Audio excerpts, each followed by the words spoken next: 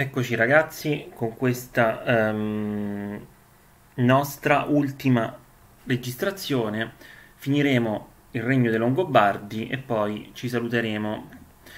Se andate dove eravamo rimasti la volta scorsa, a pagina 250, possiamo riprendere da questo paragrafo qua. Avevamo visto più o meno eh, come era stata um, la discesa dei Longobardi in Italia e che tipo di società era. Una società molto diversa da quella latina su cui vennero a innestarsi. E spero che abbiate visto il video che vi ho mandato di Alessandro Barbero. Se non l'avete fatto, mi dispiace per voi perché è assai divertente. Sulle parole che sono entrate nell'italiano attraverso il longobardo tutte parole molto concrete, molto dure, che fanno capire appunto che tipo di civiltà eh, fosse quella dei Longobardi, non certo come disse, eh, come ha detto Alessandro Barbero, che è un grande studioso eh, in un suo intervento recente a proposito, non era certo una società di filosofi, quella dei Longobardi. Dunque, andiamo a vedere come erano organizzati. Eh, si stabilirono soprattutto nelle campagne ed erano suddivisi in fare. Con questo termine indicavano dei gruppi di guerrieri che eh, erano ehm, legati fra loro da un antenato in comune e avevano eh, un capo. E questo capo era chiamato duca, dal latino dux, avevano preso questo termine in prestito per indicare appunto i capi, i duchi, che si stabilivano nelle città, erano dei capi militari e nonostante eh, avessero un re, questi Longobardi, eh, obbedivano, diciamo che ciascuno obbediva al proprio duca. E quindi l'autonomia di questi duchi era molto forte e il re veniva messo spesso in discussione. E da questo termine, Fara, per esempio, eh, è venuto il nome di tanti paesi che ancora oggi lo conservano. Quello più vicino a noi si chiama Fara Sabina. Quando incontrerete nella vostra vita tutti quanti i paesi che hanno eh, come nome Fara, sappiate che Fara indicava appunto un gruppo di guerrieri longobardi che obbedivano a un duca e quindi Fara era questo gruppo di guerrieri da cui derivarono i nomi di molti dei nostri eh, paesi. Come Fara in Sabina che è quello appunto più ehm, più vicino a noi. Questa è un'illustrazione della storia dei Longobardi che venne scritta da eh, Paolo Diacono, che era uno scrittore del, del Medioevo che narrò la discesa dei Longobardi. Vediamo alcuni dei re fondamentali. Il primo re del 572, eh, nel 572 morì assassinato dalla moglie, si chiamava Rosmunda e questo re si chiamava Alboino. Pensate, era famoso perché si diceva che fosse talmente feroce che beveva eh, dal cranio dei nemici uccisi come se fossero dei, delle tazze, dei bicchieri. Rosmunda lo uccise perché eh, si fece corrompere dai bizantini. E il successore del 574 si chiamava Clefi, ma venne messo eh, in discussione dai duchi che è ucciso Clefi da uh, una congiura per una decina di anni eh, dominarono uh, l'Italia in, in modo uh, completamente anarchico, cioè ognuno dominava una porzione di territorio senza obbedire a nessun re, tanto che non si elesse nessun re.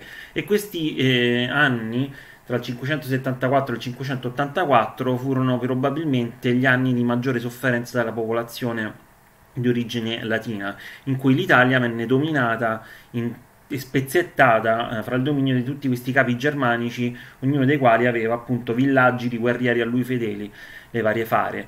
E il periodo di maggiore decadenza probabilmente, in cui la frammentazione eh, divenne più grande, iniziò anche appunto la frammentazione linguistica perché ogni luogo eh, era ormai isolato dagli altri. Questa frammentazione si interruppe con il re Autari o Autari dal 584 al 590 che cercò per la prima volta di costruire uno stato e di portare eh, sotto un'unica autorità tutti quanti questi duchi eh, germanici. Voltate pagina quindi ancora non si può parlare di un vero ehm, e proprio Stato, comincerà ad emergere uno Stato longobardo con i re Agilulfo e Rotari. Il primo regnò dal, dal 591 al 615, il secondo dal 636 al 652. Le vicende sono molto più complicate, ma fondamentalmente eh, sono i due re che cercarono di dare degli elementi per portare eh, sotto uno stato unico eh, questi guerrieri eh, germanici, per dare un'amministrazione dello stato, quindi cercarono di imparare un po' da quello che era stato il popolo romano e si dettero una capitale a Pavia, che abbiamo visto eh, dov'è, non lontano da Milano, nel 626 e eh, crearono una prima amministrazione statale eh, attraverso la figura dei Gastaldi, che erano dei funzionari nominati direttamente dal re che eh, esercitavano la giustizia e amministravano per conto del re nei territori dominati eh, dai singoli eh, duchi per cercare di portare un po' eh, un'unità eh, a questo regno longobardo di recente formazione ma dei ducati due restarono eh, autonomi perché erano molto potenti. Il ducato di Spoleto, che sta in Umbria, e il ducato di Benevento nell'attuale campagna. Benevento è la città della Campania, però come abbiamo visto comprendeva gran parte dell'Italia mm, meridionale. E nonostante tutto, la spartizione tra bizantini e longobardi l'abbiamo vista, no? Riguardate se non ve la ricordate, questi due ducati mantennero una grossa eh, autonomia. Un grosso passo in avanti nella definizione di uno Stato longobardo venne portato con l'editto di Rotari del 643. Era praticamente un editto in cui il re Rotari eh, cercò di dare delle leggi scritte simili a quelle dei romani, perché eh, i longobardi non avevano un diritto delle leggi scritte ma avevano cosiddetto diritto consuetudinario, cioè delle abitudini che venivano tramandate a voce e che rappresentavano un po' il loro modo di eh, gestire la giustizia. Per esempio, c'era eh, l'istituto della faida, la cosiddetta faida era eh, un modo per farsi giustizia per cui se qualcuno subiva un torto, un furto, un omicidio, la famiglia offesa poteva eh, eh, vendicarsi su uh, quella che, eh, a cui apparteneva colui che aveva compiuto il crimine. E anche con la violenza, un omicidio si poteva vendicare con un altro omicidio e così praticamente non si finiva mai e questi Longobardi eh, vivevano costantemente in guerra fra uccisioni e vendette. Un istituto molto eh, mm, crudele che eh, porta tantissima sofferenza e dolore, quindi non può essere una giustizia di tipo moderno, che i romani non conoscevano perché essendo civili avevano già superato da, da molto tempo, e invece questi germani sì. è rimasta per esempio nella cultura della mafia in Sud Italia. Pensate quante, quanto sono antiche queste cose, che radici culturali hanno in alcuni paesi la cultura della faida è ancora rimasta. Il re Rotary cercò di eh, cambiare, di portare eh, delle leggi eque ed uniformi e scrisse appunto questo editto in cui la faida e eh, altre eh, diciamo, usanze barbare venivano sostituite da una giustizia pubblica e, per esempio si sostituiva eh, la vendetta al cosiddetto guidrigildo, che era praticamente un modo eh, di risarcire i torti subiti attraverso un pagamento in denaro, quindi una multa, invece che attraverso la violenza, per poter garantire la pace. Questa cosa venne scritta dal re Rotary per il suo popolo, i Longobardi, non per i Romani. Come vedremo, per lungo tempo Romani e eh, Longobardi vivranno a fianco. I primi eh, si comporteranno come un esercito di stranieri che li occupavano. E I romani cercavano di sopravvivere praticamente e non eh, avevano più un diritto loro, o meglio, i Longobardi eh, gli avevano lasciato qualche cosa, ma fondamentalmente eh, dovevano, eh, erano soggetti all'arbitrio di questi Longobardi e, e tutt'al più le uniche, le uniche autorità eh, latine che ancora potevano offrire una qualche garanzia a questi poveri eh, discendenti dei romani erano quelle della Chiesa. E qui infatti noi vedremo che la Chiesa comincia ad avere sempre più importanza nelle città, soprattutto i vescovi, nelle campagne i parroci, a Roma il Papa, anche se Roma era compresa nel dominio bizantino, ma come vedremo poi eh, bisognerà fare dei distinguo su questa cosa, eh, è la Chiesa che comincia a sostituirsi al potere politico mancante e a dover trattare con gli occupanti germanici. Eh, e quindi eh, la Chiesa comincia ad avere un ruolo politico. Eh, perché non c'era più un'autorità politica per i latini, fino a che i Longobardi non cercheranno di creare uno Stato unico per entrambi i popoli. Però nell'editto di Rotari queste leggi furono scritte soprattutto per i Longobardi, eh, non tanto per discendenti dei Romani. E, eh, qui avete alcuni esempi dell'arte longobarda e come vedete è molto diversa da quella classica, appunto più, più barbara, sembra più eh, meno evoluta se vogliamo considerarla così, anche se questo termine non è diciamo un termine esatto, eh, però nel, nel, corso del tempo molti studiosi eh, la considerarono comunque come eh, l'inizio del Medioevo perché si perse tutta la conoscenza anche artistica eh, dei secoli precedenti dei romani. E quindi questo editto di Rotary cercò di creare una prima forma di Stato attraverso delle leggi comuni a tutto il territorio e come si avvicinarono questi due popoli perché erano Stato unico? Innanzitutto si cercò di dare un'unica religione e fu soprattutto Teodolinda, eh, una regina che sposò prima di tutto eh, il re Autari e dopo Agilulfo, che era il duca di Torino. E lei era cattolica. Ricordate che invece ehm, i Longobardi, ma soprattutto i Longobardi, quelli di rango elevato, perché eh, gli altri erano tutti pagani, si erano convertiti al eh, cristianesimo ariano, che era diverso da quello cattolico. E invece Teodolinda cercò di convertire il suo popolo al cattolicesimo e, e collaborò molto soprattutto con un grandissimo papa, uno dei, grandi, dei primi grandi papi della storia, si chiamava Gregorio Magno, del, che diciamo eh, fu sul soglio pontifice dal 590 al 604 d.C.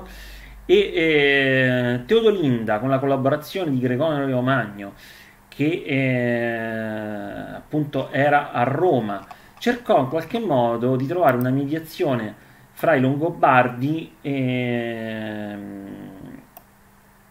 i bizantini e i popoli locali.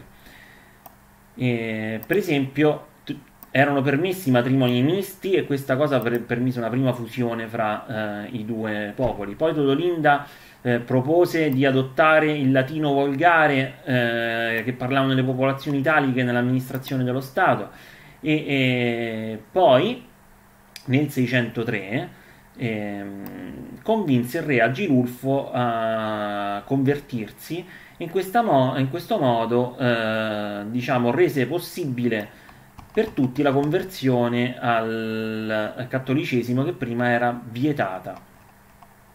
E questa fu una prima spinta di aggregazione come erano messi eh, appunto a livello territoriale? Il Papa Gregorio Magno stava a Roma, dove in teoria c'era l'amministrazione bizantina, ma questa amministrazione bizantina era talmente debole che il Papa cominciava a diventare eh, anche un riferimento politico per l'amministrazione del territorio. E eh, i vescovi delle varie città, anche quelle che erano invece sotto l'amministrazione dei duchi longobardi, facevano comunque riferimento al Papa, che era visto un po' come un capo. E quindi il Papa attraverso eh, la religione eh, cattolica cercava un compromesso con questi longobardi e cercava soprattutto anche di affrancarsi dall'influenza dei bizantini sotto la quale formalmente Roma ancora era.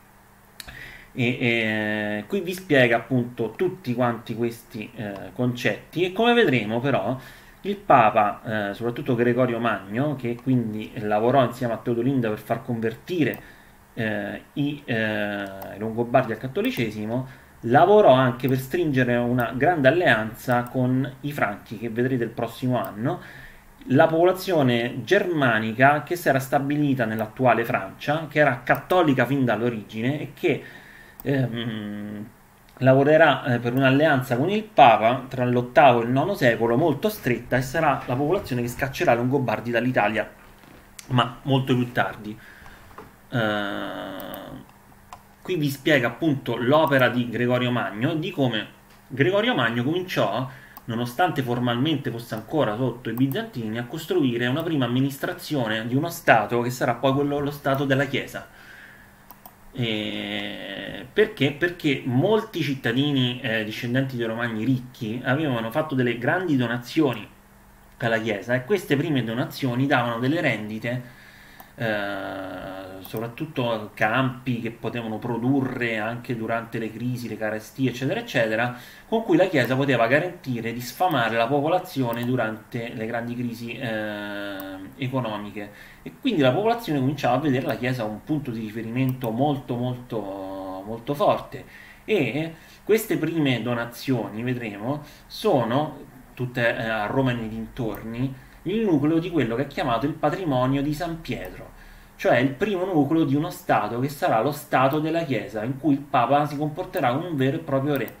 In latino patrimonium, cioè patrimonio, eh, ricchezza, Santi Petri, genitivo singolare, significa di San Pietro.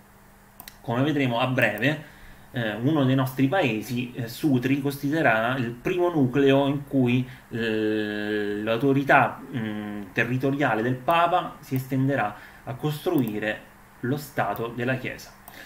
E in più questo Gregorio fu molto importante perché si occupò di eh, portare il cattolicesimo anche all'estero. Nel 596, per esempio, inviò dei monaci, i cosiddetti benedettini, eh, che sono stati fra i primi monaci della storia, a convertire eh, in Britannia gli angli e i sassoni che sono i discendenti degli attuali, cioè sono gli antenati degli attuali inglesi, due popoli germanici che avevano occupato la Britannia scacciando i romani e eh, Gregorio Magno con i benedettini evangelizzò la Britannia e le isole vicino alla Britannia, soprattutto l'Irlanda, che eh, sviluppò dei monasteri tra i più importanti eh, di quelli fra i più importanti di quelli cattolici nel Medioevo. Il monachesimo irlandese, cioè i monasteri eh, cattolici irlandesi, furono eh, fra i più importanti del Medioevo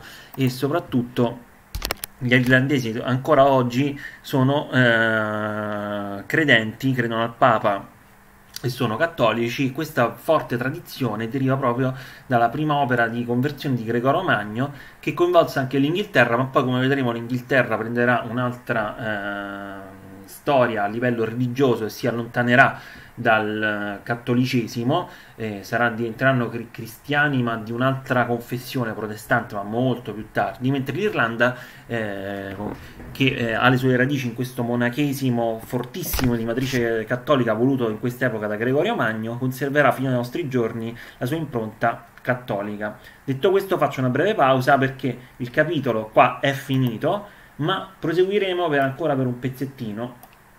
Um, dovrebbe essere finito almeno fatemi vedere sì. Guardate questa mappa che riassume comunque tutti quanti questi concetti. Dopo vista questa mappa finiremo brevemente un altro capitolo cioè una, altri paragrafi e poi abbiamo finito tutto quanto.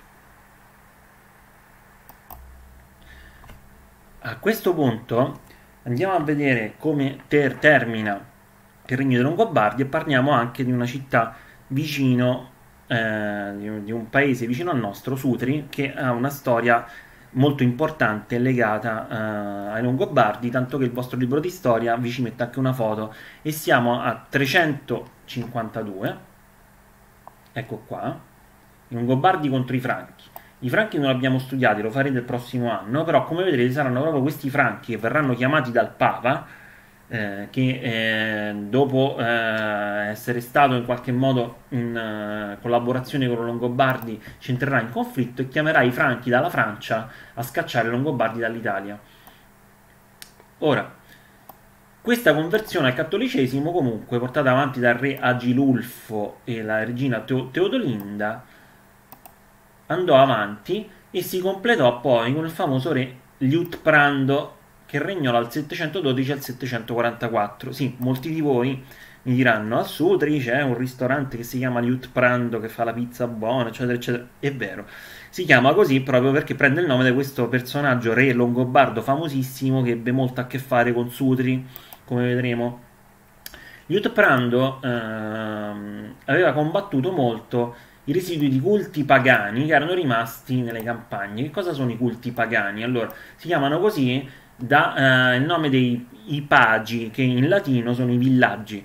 Come abbiamo visto, nelle città eh, i Longobardi erano cristiani ariani, eh, gradualmente si convertono al credo dei discendenti dei Romani e del Papa, che è appunto quello cattolico, attraverso Teodolinda e Re Agilulfo, ma nelle campagne, nei villaggi, nei cosiddetti pagi, ancora si credeva alle vecchie divinità, eh, oppure alle vecchie divinità dei romani oppure eh, alle vecchie divinità dei germani, quelle proprio di tipo Thor, Odino, alla vecchissima mitologia, insomma ancora c'erano delle credenze religiose molto molto antiche, ecco queste credenze religiose venivano chiamate pagane proprio dai paggi di campagna. E Liutprando cercò di far convertire anche i villaggi di campagna alla nuova fede cattolica. E, e quindi Liutprando emanò diversi provvedimenti severi contro i vecchi riti pagani sia di tradizione romana che di tradizione germanica e fece altre cose, eh, per esempio permise alle donne di poter eh, ereditare il patrimonio di famiglia, questo non tanto per una di una questione di diritti e dignità della donna, ma perché in questo modo le donne che entravano nei conventi potevano cedere il proprio patrimonio al convento e così le proprietà della chiesa diventavano sempre più eh, importanti. Ha proprio per farvi capire come si costruisce l'importanza della Chiesa nel Medioevo e come si costruisce lo Stato della Chiesa, questa cosa importantissima che coinvolse Sutri. Nel 728 Liutprando, che è, era cattolico appunto, fece una donazione a Papa Gregorio II, donò un piccolo castello con con il paese sotto a nord di Roma e questo... Eh, paese è appunto Sutri.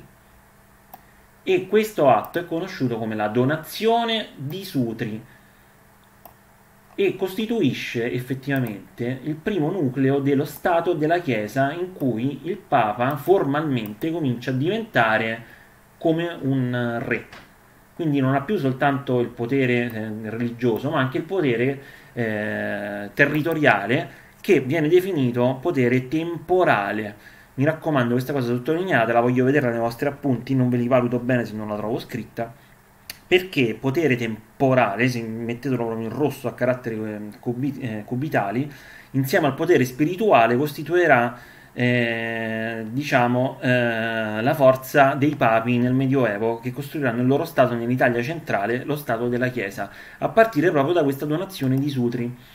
E, ehm, questa uh, donazione su perché Sutri eh, era, di, era dei Longobardi che lo donarono al Papa? Perché questo territorio in realtà doveva essere dei bizantini ma i bizantini erano sempre più deboli. I Longobardi avevano preso questo uh, territorio strappandolo ai bizantini. Eccolo qua. Stava proprio al, confine vedete?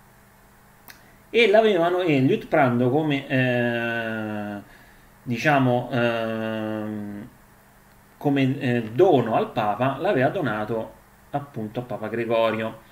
E quindi con questa donazione comincia il primo eh, nucleo dello Stato della Chiesa. Questa cartina eh, vi fa vedere le cose hanno stato un po' più avanzato, ma lo vedremo a breve. Qui siamo nel 728 e ormai i Longobardi e Romani e discendenti dei Romani sono fusi tutti uniti da una sola, religiosa, da una sola, eh, da una sola religione, che è il cattolicesimo e da buoni rapporti con il papato, e, e, i matrimoni misti hanno portato ormai a una fusione tra la popolazione, si può parlare ormai di popolazione romana italica fusa con quella longobarda, e ormai lo Stato longobardo è una realtà che è, per quanto diciamo non evoluta come quella dell'impero romano, comincia a, ad amministrare in maniera più eh, civile e moderna lo Stato. E anche l'esercito ormai non distingue più fra chi è romano e chi è longobardo. Se non che questa alleanza con il Papa si incrinò perché Liutprando cercò di strappare innanzitutto eh, l'indipendenza ai ducati di Spoleto e di Benevento, poi cercò di strappare ehm, i controlli, eh, diciamo, il controllo ai territori bizantini che erano eh, maggiormente custoditi. Se in Italia centrale ormai i bizantini stavano piano piano evaporando sotto il controllo del Papa che si, che si era alleato con, eh, in, con i Longobardi, queste zone qua restavano in mano ai bizantini. Ravenna e la Pentapoli, Rimini, Pesaro, Fano, Senigallia, Ancona. Liutprando cercò di impadronirsi di questi territori e di scacciare i bizantini e questa cosa spaventò il Papa, perché il Papa aveva paura che si volesse prendere anche tutta Roma e il Lazio. E come vedremo, questo attacco uh, di Liutprando nel 744 fu effimero, effimero significa che durò poco, eh, perché mh, mm, non riuscì a mantenere il controllo di questi territori, dovette, eh, eh, dovette cederli e soprattutto eh, il Papa si spaventò da questa politica aggressiva di Liutprando e poi come vedremo dei sovrani successivi che continuarono la politica di Liutprando e il Papa eh, che nel frattempo aveva coltivato dei buoni rapporti con i sovrani franchi in Francia che erano tutti convertiti al cattolicesimo già da tantissimo tempo e eh, i vescovi eh, esercitavano tra, per il Papa un potere molto forte eh, in Francia per controllare soprattutto la popolazione, perché ricordate che una volta dissolto l'impero romano furono le autorità religiose a mantenere un minimo di civiltà nelle città de- dell'impero eh, dopo l'occupazione dei barbari. Ecco, ehm, questa alleanza, finite di leggere questo paragrafo qua, determinerà poi eh, la chiamata da parte del Papa sotto la pressione e la minaccia del re longobardo Astolfo che dominò dal 749 al 756, il successore di Liutprando, il Papa chiamò il re dei Franchi, Pipino il Breve, che dalla Francia venne giù e scacciò i Longobardi dal 756. Ci saranno due campagne militari che scacceranno poi Longobar- eh, i Longobardi dopo che Astolfo cominciava a minacciare Roma. E fu il Papa, stavolta si chiamava Stefano II, questo Papa, a chiedere aiuto a Pipino il Breve. Quindi io direi che potete arrivare fino all'intervento franco in Italia e alla minaccia di Astolfo nel 752 per capire come finisce questo impero, eh, impero questo regno. Qui c'è un riassunto, vedete, dalla donazione di Sutri, eh, gli attacchi di Liutprando ai ducati longobardi senza riuscire a controllarli. E poi negli anni 50, al 52 Astolfo minaccia Roma, Stefano II si rivolge a Pipino Breve dei Franchi. E poi tra il 754 e il 56 eh, Pipino interviene in Italia per scacciare eh, i Longobardi e, e le, le, cose andranno avanti ancora per, um, per, diversi, uh, per diversi anni.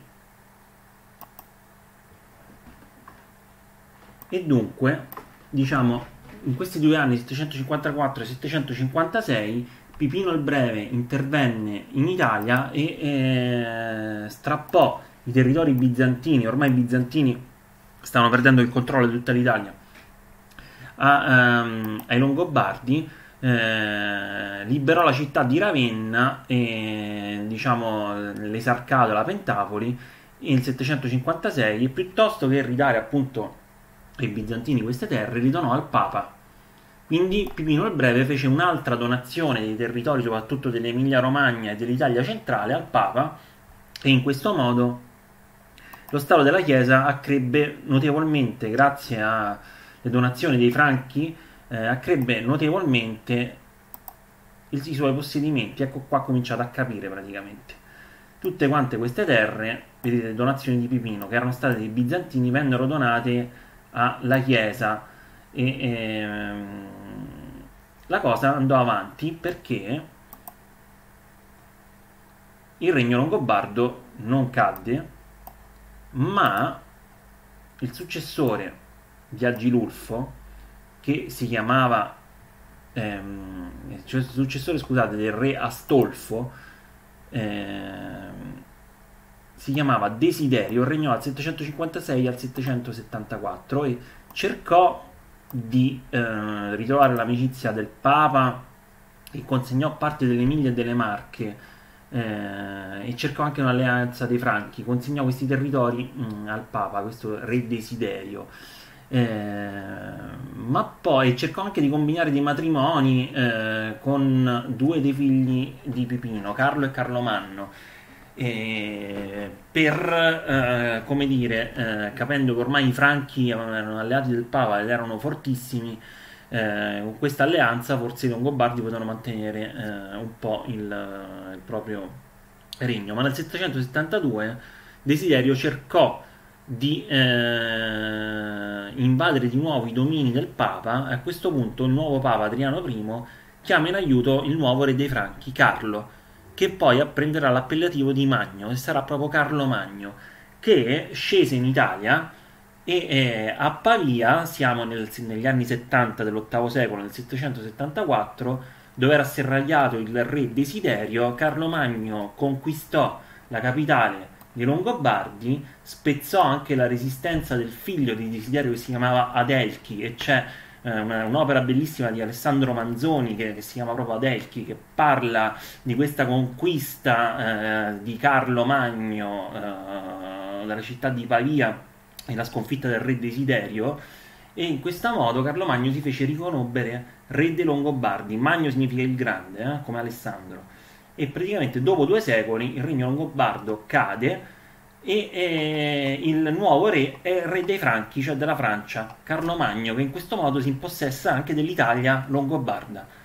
E il regno di Carlo Magno lo studierete bene nel prossimo anno e come vedrete poi i due ducati, quello di Spoleto e di Benevento, sopravvissero a questa conquista, ma quello di Spoleto eh, diventò comunque sotto il controllo dei Franchi, quello di Benevento invece mantenne eh, una sua autonomia che arriverà anche fino a dopo l'anno 1000 quando fu conquistato da un nuovo popolo che veniva dal nord e conquistò l'Italia meridionale che si chiamava i Normanni. Allora, detto questo, con eh, l'introduzione di Carlo Magno alla caduta del eh, regno longobardo in Italia, noi abbiamo terminato queste nostre avventure storiche. Finiamo qua. Mandatemi gli appunti, ora vi do la scadenza e per quest'anno abbiamo finito e poi ci sentiremo per le ultime valutazioni per i compiti delle vacanze. Spero che questi due anni insieme eh, siano stati per voi comunque eh, proficui dal punto di vista degli apprendimenti della comprensione insomma della storia. Ho cercato di fare del mio meglio. Qualche cosa abbiamo dovuto tagliare per questa situazione di emergenza, ma casomai vediamo se si può recuperare con i compiti durante l'estate.